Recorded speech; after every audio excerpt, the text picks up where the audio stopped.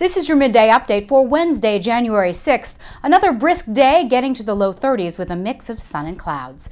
In your neighborhood headlines, Percy Sutton, civil rights activist and former Manhattan Borough president, was remembered at Riverside Church in Morningside Heights this morning.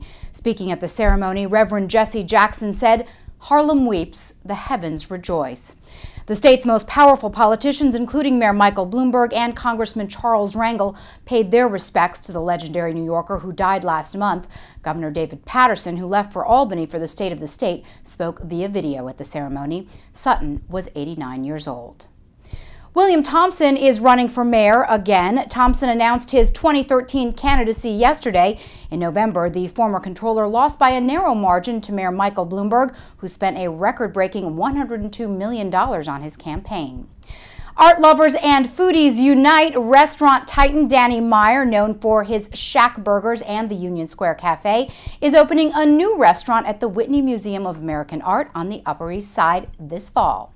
Those are your headlines. Get all your Manhattan local news at dnainfo.com.